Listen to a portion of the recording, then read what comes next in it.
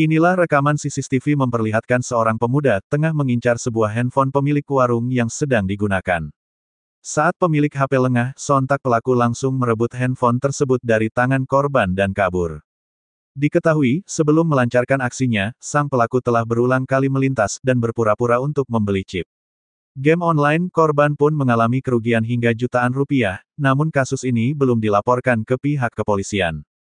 Berapa orang itu hari masuk ke sini? Ya, satu orang nih baru temannya menunggu kapan di depan. Oh, menunggu di depan. Terus apa? Eh, Di motor, awa- awalnya dia masuk mau beli apa terus? Iya. Katanya mau beli anu chip. Oh, chip. Iya.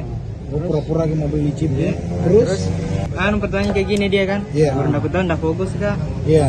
Baru belum bisa sampai anunya kan chipnya itu baru diambil. Sudah melapor? Iya belum. Belum. belum. Iya. Korban mengaku sudah sering kejadian pencurian di warungnya, ia kerap kehilangan rokok, dan pelakunya orang yang sering. Lalu lalang di Jalan Andi Mangerangi Raya. Ilham Syam Fajar TV.